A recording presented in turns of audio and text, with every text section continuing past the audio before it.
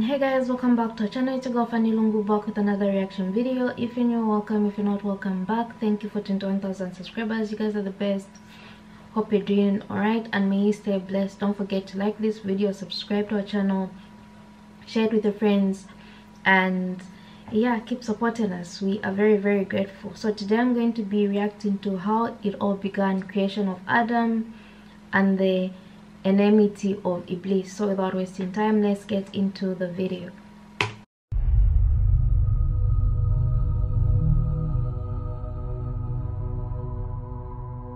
I want to take you back to the beginning, to the beginning of when Allah subhanahu wa ta'ala created the first human being.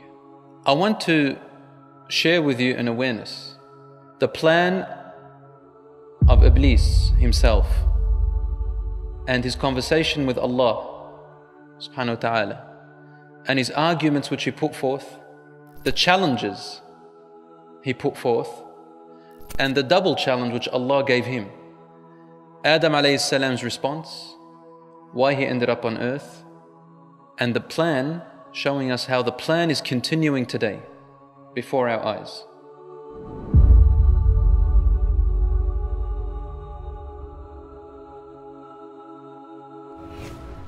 Iblis, first of all, was a jinn. And he had a position among the ranks of the angels. He actually worked among the angels, literally. But he wasn't an angel, he was a jinn made of fire. The angels are made of light. Allah tells us that the angels are made of light. The Prophet tells us this. He had a special rank, he was God fearing. He was devout. He was a worshipper, wallahi. And he believed in the oneness of God and His might and power and everything. And he turned to Him. He was a righteous servant of God in every meaning of the word. However, something inside of his heart, when we say heart, we don't mean literally the organ that's pumping blood. When we say heart in Arabic, we mean the mind, something here, in here, something inside.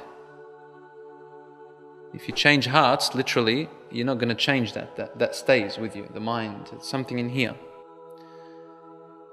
Iblis had something in here, something that wasn't right. He, it was a secret. And Allah, He doesn't put that in you.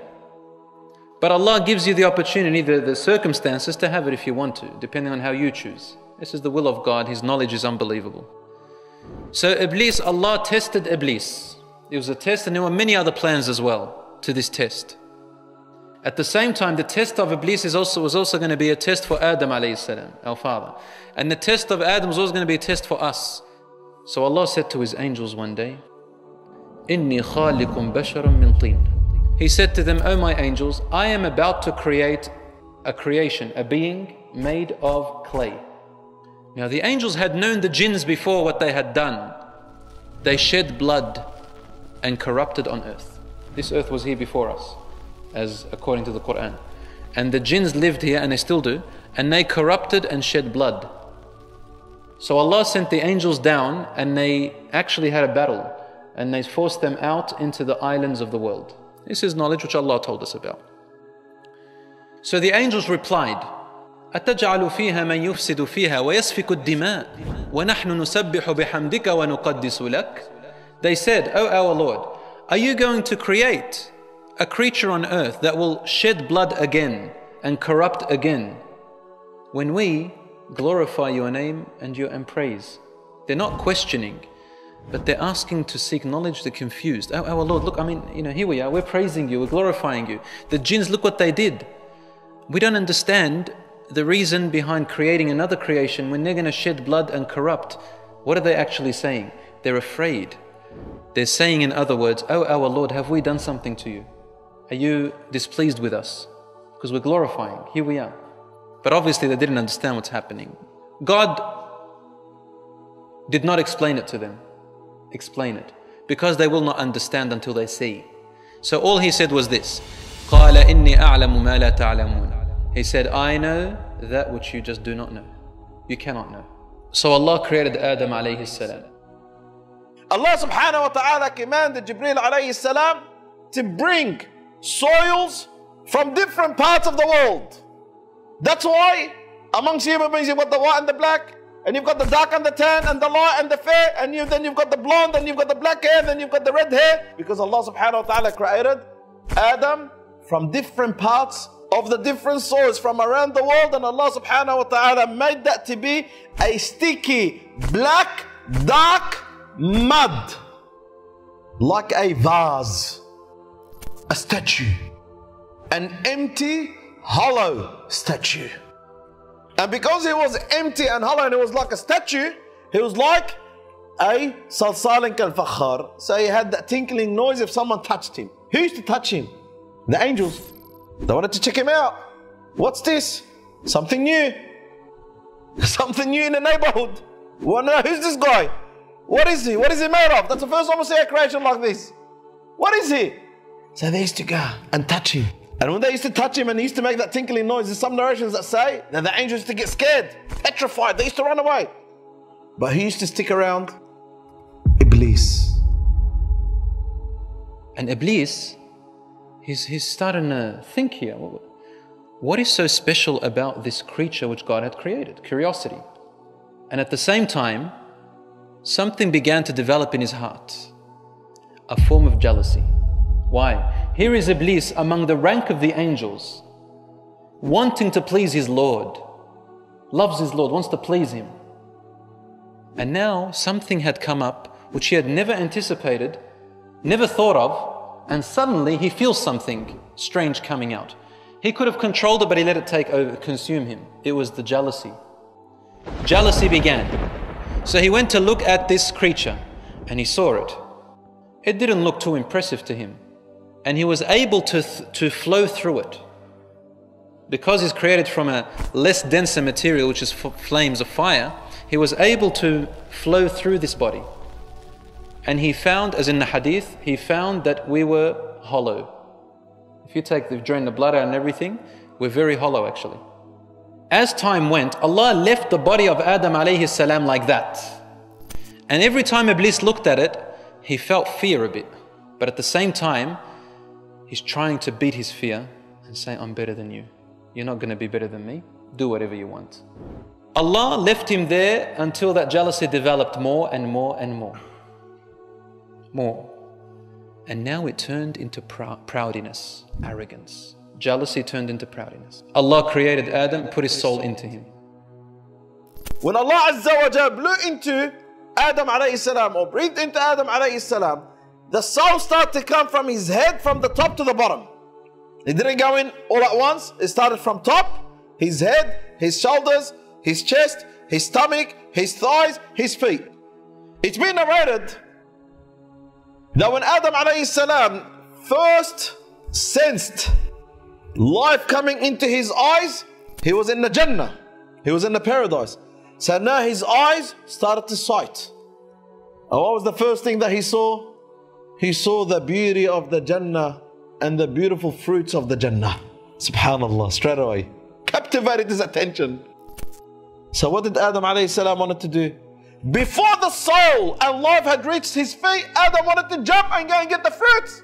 So Allah subhanahu wa ta'ala says, خُلِقَ الْإِنسَانُ مِنْ عَجَلٍ Mankind is created out of haste. Rush, rush, rush always wants everything quick, quick, quick.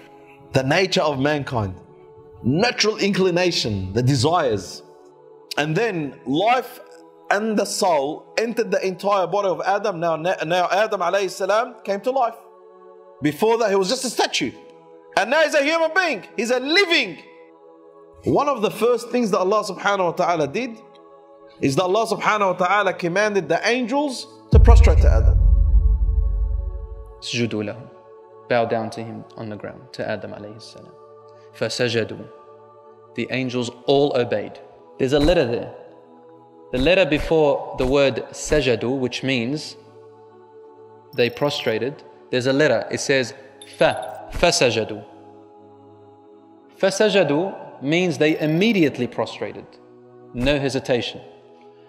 Then Allah says, illa iblis. Except for iblis, he didn't prostrate. Then Allah further explains why Abba, he chose to, re- to refuse. He actually objected. He refused. So it was a conscious refusal. So you don't think that he couldn't, he could, but he consciously refused. The reason he refused is because he allowed himself to be proud. Proud as in not happy, arrogant. وَكَانَ مِنَ الْكَافِرِينَ And that resulted in him becoming among the disbelievers. He hid the truth, kafir, the, literally the word kafir means to hide the truth deep and to cover it up. That's what kafir means. Knowing the truth, hiding it, denying it. So kufr can also mean denial, not just disbelief, denial of the truth, knowing it. Allah says, قال ما منعك ألا تسجد لما خلقت بيدي What prevented you, O Iblis, to prostrate to one who I have created with my own hands? Allah created him directly. What did Iblis respond? قال أنا خير منه I am better than him. أنا خير منه I am better than him. Why? Why? خلقتني من نار You made me out of fire. وخلقته من طين you made him out of, out of clay. clay. I'm from fire. fire. He's from, he's from clay. He's from clay. Allah then said to him, Okay, very well. Are you adamant about your decision? He said, I am adamant. Allah gave him chances. He continued. Then Allah finally said to him, I created him and I am the one who commanded you. You have disobeyed me outright and arrogantly. This is Iblis's reply. وَعِزَّتِكَ وَجَلَالِكَ He swore an oath by God's honor and His might. It means he believes in God. He knows God better than most people of today and of the past. In fact, maybe more than anyone who's existed except for the prophets. He knows Allah very well. By your might and by your power, I will lead them all astray. Allahu Akbar.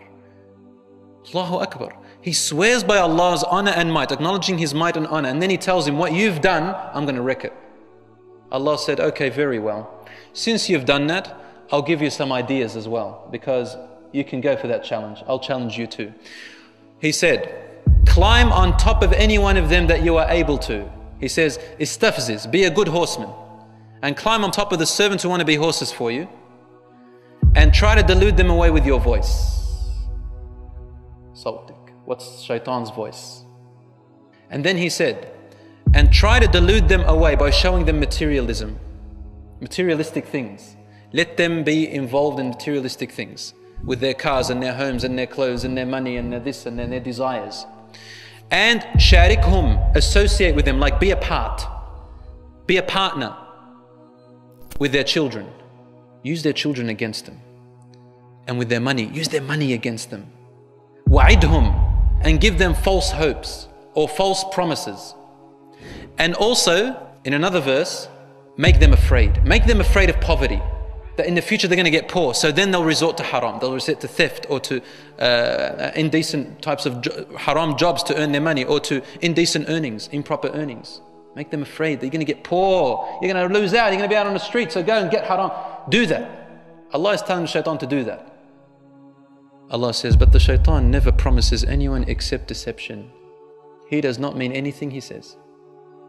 He knows you better than yourself. And he works step by step. This is what Iblis replied. He said, Then, O oh my Lord, anzirni ila yawmi yub'athun. Okay, the challenge between you and me is there now. But I want something from you. If that's the case, keep me alive until the day they are resurrected. Give me time. Allah says, إِنَّكَ مِنَ الْمُنظَرِينَ إِلَى يَوْمِ الْوَقْتِ الْمَعْلُومِ We will give you time, but not what you're asking. Not until the day of resurrection. You want to escape death? No. We will give you time until the end of the world. When the hour goes, you will die with them. That's your time. Then Allah said to him, But wait. إِنَّ عِبَادِي لَيْسَ لَكَ عَلَيْهِمْ سُلْطَانٌ I'm going to tell you something. My true servants, you will not have power over them. That's the only thing. Then the Iblis replied, he said, Okay, I will lead them all astray. إلا عبادك منهم المخلصين except your servants among them who are sincere. Those are the only types of people, my brothers and sisters, whom Iblis and the shayateen have absolutely no power over. The ones whose hearts are absolutely sincere. There's no hypocrisy in it. repent to Allah when they do wrong. They feel regret when they've done wrong. They blame themselves when they've gone astray. And they complain to Allah.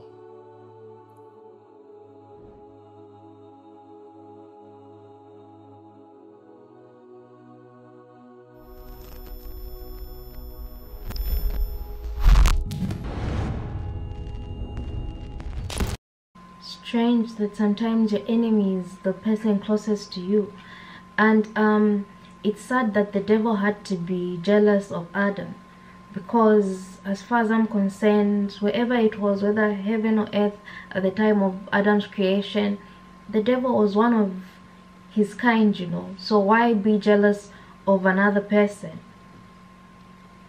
It doesn't make sense.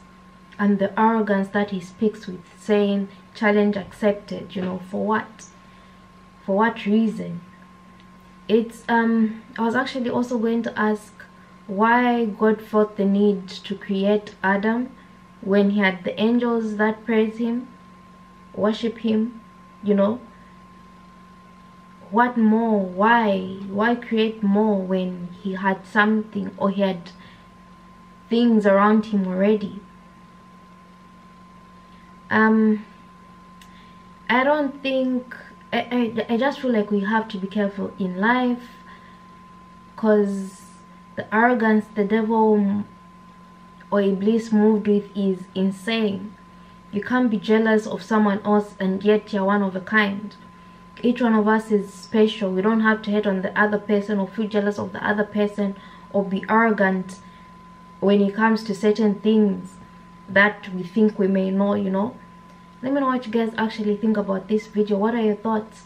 If there's anything i'm to react to let me know down below. Make sure to give this video a thumbs up share it with your friends and of course do not forget to subscribe and i'll see you in my next reaction video